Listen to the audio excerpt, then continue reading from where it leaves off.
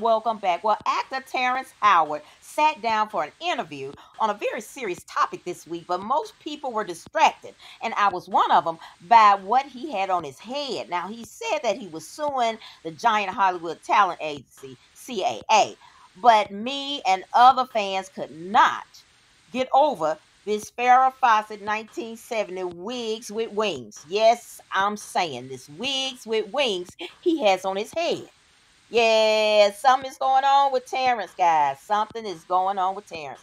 Because uh, this ain't making sense. And make it make sense. Make it make sense. What is wrong with this ninja? Uh, is he a pimp? Does he want to be a pimp? Or is he starring in the next 1970 flick, uh, The Return of Superfly? Mm, what do y'all think?